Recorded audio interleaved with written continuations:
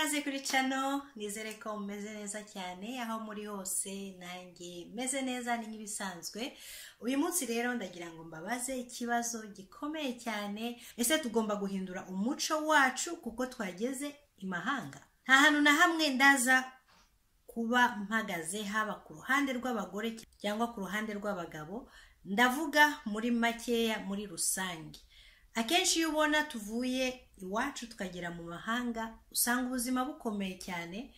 Iwacu akenshi tuba dusanzwe tuzi yuko dufite umuryango mugari cyane ufite ba nyogosenge ufite ba nyokorume ufite ba kuze ufite abantu batandukanye muri makeya buzuye mu gace waba uherereyemo cyangwa se buzuye mu ntara zitandukanye kujya kubasura kenshi biba byoroshye yuko tubonana nabo.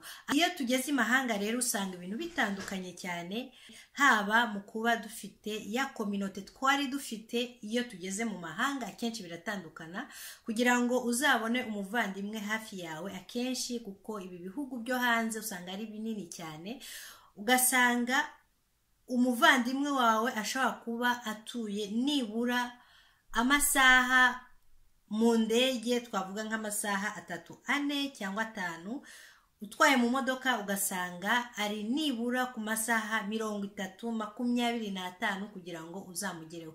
So umuco w'i rwanda rero n'uwi hano mu mahanga iyo tugeze muri kominote biratandukanye cyane kubera yuko ntabwo dufite ya shusho. Twari dufite yo kuba turi kumwe n'abavandimwe.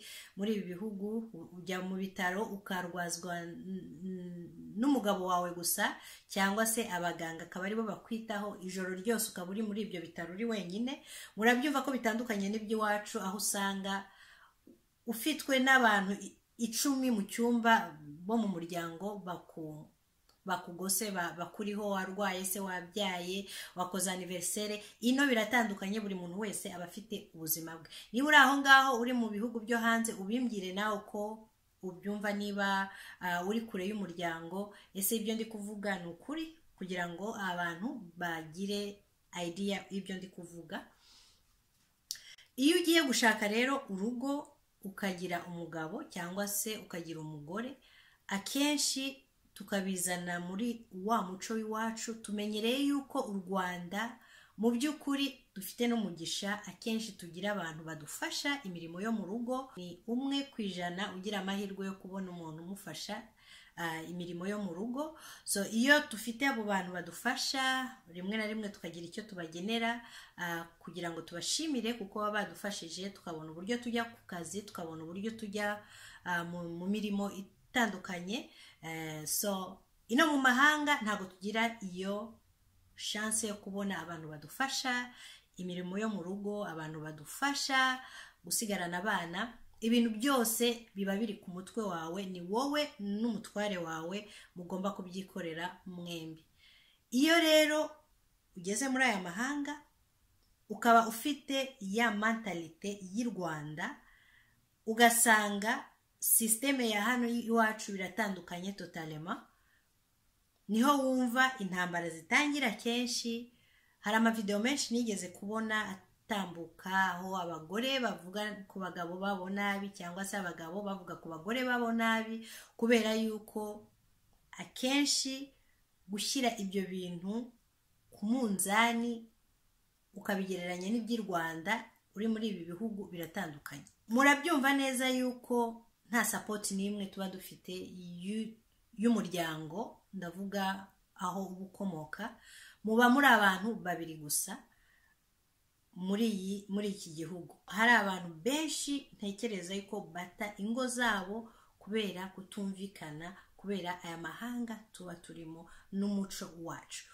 Umuhungu akava i rwanda mu by'ukuri ntago ndenganya abahungu aho bava bakagera. Abahungu b'i rwanda ndabavugira kabisa. Burya ngo icyo ubibye ni na cyo usarura. Iyo utatoje umwana hakiri kare imirimo yo mu rugo umwigisha uti ugomba gukora iki? Ugomba koza amasahani? Ugomba gukoropa? Ugomba gukora iki n'iki n'iki? Iyo atabizi ntuzibeshye n'umunsi n'umwe ugira ngo nakura akegera hejuru azamenya guteka azamera gukora ibi n'ibi n'ibi. Ibyo rero iyo baturutse i rwanda bakaza bagakubitana n'umukobwa uri mu mahanga ugasanga akenshi birabagoye cyane. Niho hajemo za ntonganya ni ho hajemo ati ntugomba kunsuzugura ndi umugabo mu rugo ugomba kugendera ku mategeko yanjye ni ngewe ngomba kuyobora urugo. Umukobwa nawe ati ntabwo nakora ibi bintu njyenyine. Murabibona neza yuko nta sapoti n'imwe mfite. Mfite abana bane batanu. Ntabwo nzava kuri shifuti y'amasaha cumi n'atandatu mpagaze. Muri amerika cyangwa ahandi hose akazi kaho akenshi gakorwa uhagaze. Nta ntebe yo kwicaraho nka bya bindi by'u rwanda mwicara ku ntebe mukazunguza biterwa n'akazi ntabwo nshatse kuvuga yuko hari abantu gusa bakora akazi gahagaze hari n'abantu bakora mu ma ofisi barahari baturutse muri afurika bafite akazi keza cyane. So uri umubyeyi ufite abana batanu mu rugo cyangwa batatu ukava ku kazi urushye bya hatari ukinjira mu rugo ugasanga n'umutware yavuye ku kazi nawe ararushye mu by'ukuri. Mwagera mu rugo rero mugatangira gusigana. Kubera yuko wa muco wacu tumenyereye yuko umugabo nta kintu na kimwe akora. Umugabo ntashobora kujya mu gikoni ngo yoze amasahani. It's impossible. Umugabo ntashobora gusasa igitanda. Umugabo ntashobora gukora ikintu na kimwe. Ntashobora guteka. Ntashobora koza abana. Ntashobora ku ntashobora gukora devuware y'abana. Umugore rero yagera mu rugo akamera nk'aho ashyizweho ingunguru yuzuye ibintu ku mutwe mu by'ukuri kugira ngo abyivaneho bikamugora ugasanga ariho hajemo ka gashira. So umugabo mu rugo akigira difisile ati ntabwo ndoza ibingibi ntabwo ndakora ibingibi nta kintu na kimwe ngomba gukora ako kazi ni akawe ariko mu by'ukuri nta nubwo wiriwe mu rugo nawe urabibona yuko uvuye hanze uvuye gukora kubera yuko ubuzima bwo mu mahanga mugomba gukora mwembi kugira ngo mufatanye ibintu byose bijye mu buryo. Ntabwo ibintu biba iby'umugore gusa cyangwa se biba iby'umugabo mugomba gufatanya mwembi. So iyo umugabo rero atafatanyije n'umugore kubera wa muco wacu ugasanga akenshi bizanye ingorane mu rugo akenshi habayeho intonganya akenshi habayeho kwivumbura akenshi habayeho gutandukana ugasanga ibyo bintu bitoya bitari ngombwa yuko bisenya urugo bikaba birarikoze kubera yuko habayeho kutumvikana kubera umuco. So ni iki rero dushobora gukora kugira ngo izi ngorane cyangwa se kugira ngo ibi bintu bishire mu by'ukuri? Ese duhindure umuco wacu tuwute ntitwongere kuwugenderaho? Cyangwa se tugendane na sisiteme turimo kubera ubuzima turimo butatwemerera kubaho mu buzima nk'ubwo twari turimo mbere ahubwo tukaba muri ubu buzima tukabufatanya kugira ngo dukomeze umuryango wacu aho kugira ngo ejo cyangwa ejo bundi tujye duhora turi mu ndirimbo imwe ihorwaho ati abagore bo mu mahanga niko babaye bata abagabo babo kubera yuko bari empoli batafasha abagabo babo batakomeza ku muco kubera yuko bagezeyo bakabona uburenganzira akaba ariyo mpamvu bahinduye imico bakaba bataye umuco wacu bakaba bataye abagabo kubera iki? Batihanganye ngo bimere uko nguko.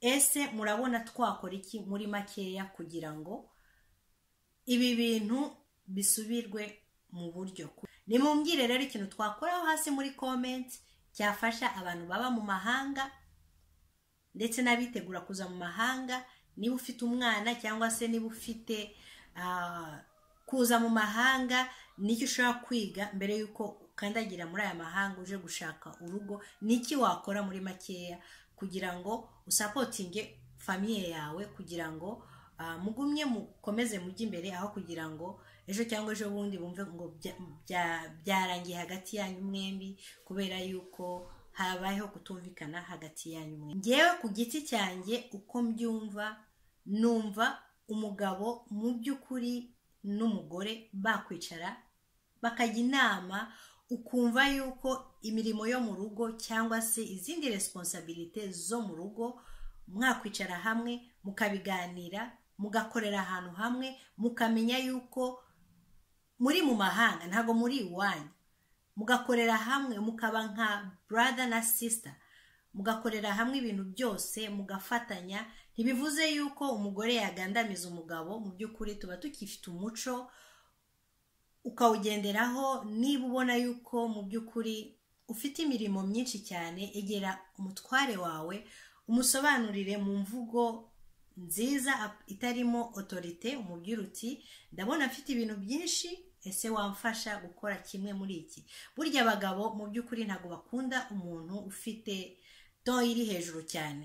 Mwegere uciye bugufi uti mfasha kubera ko mbona yuko hari ibintu byinshi cyane mfite uyu munsi mfite devuware nyinshi z'abana ngomba gukora ngomba kubatekera ngomba kubuhagira ngomba gukoropa ngomba kuzinga imyenda ngomba kumesa musabe serivisi n'umutima utuje udashatse kumwereka yuko agomba kubikora koko kubera yuko muri mu mahanga.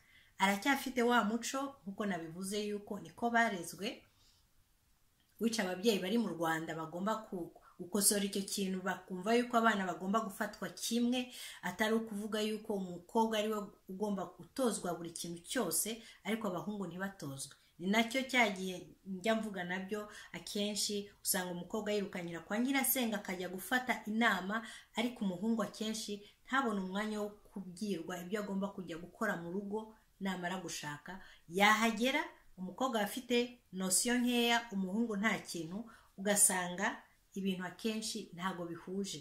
Ugasanga batangiye kurwana kubera yuko hari umwe udafite inararibonye mu byo agiye gukora undi afite nosiyo nkeya ariko bombi bashaka kugira ngo bajye mu ishuri rimwe batangire zero buri muntu agende yiga umunsi ku wundi. No muri aya mahanga rero numva ariko ariko byakagombye kumera yuko umugabo n'umugore bagomba kwicara hamwe bakajya inama bakumva ko bagomba gufatanya buri kintu cyose ntibirukanyire kujyana ibintu byabo hanze bahamagara polisi cyangwa bakora ibindi ahubwo bakicara bakareba uburyo bakemura ibibazo byabo bafatanya imirimo yo mu rugo siritu ndetse n'ibyo hanze mukabiganiraho kugira ngo mukemure ibibazo byanyu. Ni byo ngibyo mfite ku mutima rero uyu munsi nagira ngo mbaganirizeho nkeneye ibisubizo byanyu aho hasi namwe mubimbwire ese twahindura imyifatire tugeze mu mahanga kubera yuko ariko tuhasanze mubimbwire aho hasi muri komenti ndishima cyane gusoma komenti zanyu. Naho ubutaha rero imana ibarinde aho muri hose. Babaye